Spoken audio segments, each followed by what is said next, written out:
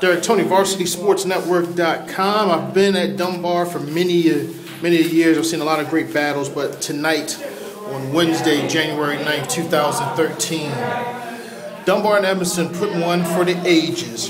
Double overtime.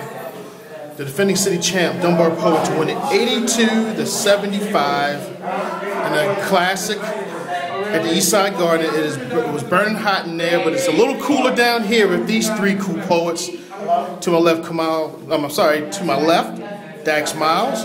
In the middle, Keandre Gibson, and next to him, Kamau Stokes. And we'll start with Kamau, man. Uh, just, you play a lot of, you, you, know, you came from John Carroll. You play a lot of great battles with Mount St. Joseph, man. I mean, where does this one rank as far as games you've been involved in? Uh, this one ranked at like one of the top because I, I found out the game first of all. My teammates hold it down for me. So I, I want to thank them for that first. Then uh, all the rest set it set itself. We showed out there that we can handle the pressure, handle adversity. So we did what we did. What changed? I mean, you guys are down by 10, 15 points in the first half, down most of the second half. I mean, what what changed? We just came together as a team.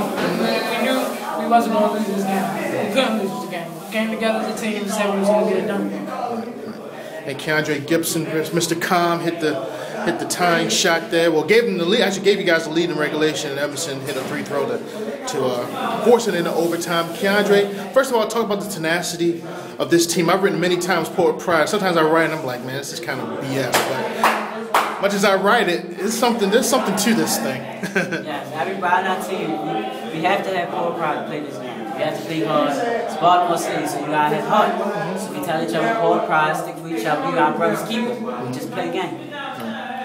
Talk about the early going. What were some things that were going wrong, and what some things you guys were able to correct? We didn't really come out like we usually do. We played slow. We came out slow. But going into halftime, we talked to each other like, we still got this. We still in this game. So we came together, we played good, we got the win. And Dax Miles, 31 points. I think I have it. I don't have it on me. 31 points. Uh, strange start. Uh, getting early. It's like, you man, you you probably typified this game on the bench early, getting to the game late, kind of didn't get into to the flow of it, and then in overtime, kind of just took over, man. Just kind of talk about the range of emotions you were going through. This, all six quarters. oh man! First of all, um, everybody heart rate was up, so it was just out of control. So, but one thing I can say is we never give up. So we, we kept the attention level up the whole entire time. I mean, it was a, it was a tough game. The whole six quarters. You see my lip. Yeah. So you know we came together, man. We all said we all we got. We all we won. We won team Dunbar Poet Pride, so we had to represent. We had to break. We had to break the, uh, curse. It was three game losing streak to Edmondson throughout the years, even when I wasn't here.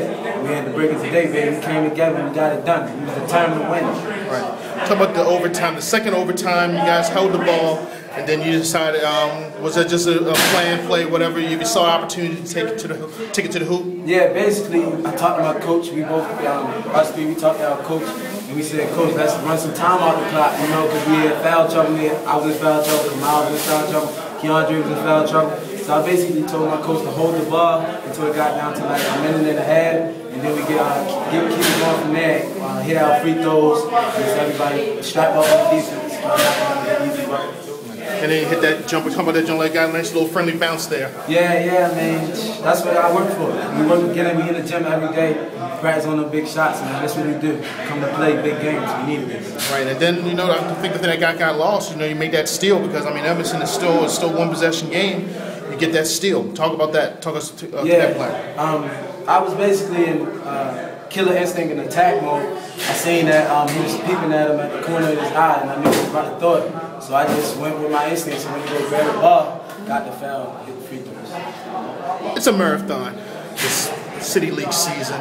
But I mean, how big is this win? I mean, you know, all things considered, I mean, it's just a W on the on the calendar. But I mean, how big is this win? I mean, this this this was the game of the month. This might have been one, the biggest game of the year as of right now because everybody wanted to see Dunbar versus Edmondson. A lot of trash talking, a lot of adversity. We had to outgo everyone. Like it was, we we was one team. We, we had each other, so we had to come together. And this was a big one, big one. But we got this um learning, uh, this a step. you know, come together and we got building this. Keep it going.